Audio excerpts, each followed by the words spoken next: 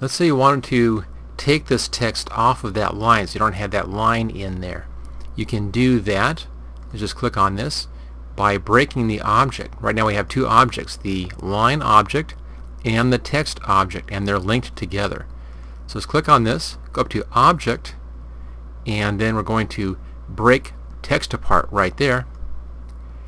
And they're now separate objects. Let's let it go ahead and finish its figuring.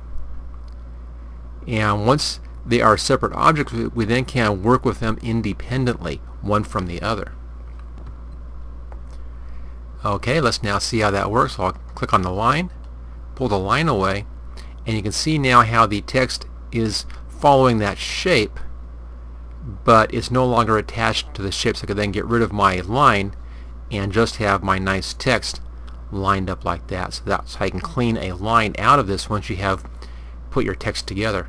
Another one of our options in here is let's say you, you pull the text off and now you want it straight again. You actually can do that.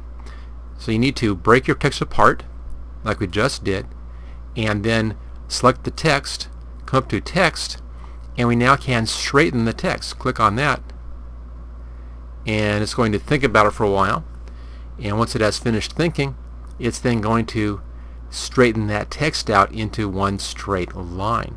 So again, real nice couple of techniques there. There's the straightened out text. So you can put your text onto a shape as you saw in the last video. You can break the text away from the line if you don't want to have that line in there. And you also can straighten your text out again if you want to have it straightened again. Let's just delete this and I'll show you that breaking apart again right here. I'll click on this object. Again, it's a combined object.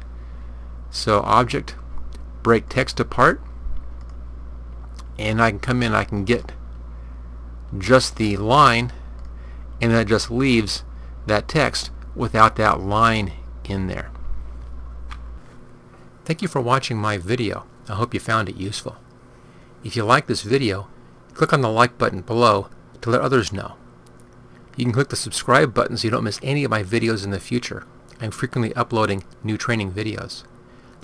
Don't forget to check out my website at howtogurus.com. You can share this video with your friends and coworkers. Just click on share and then click on the social media buttons.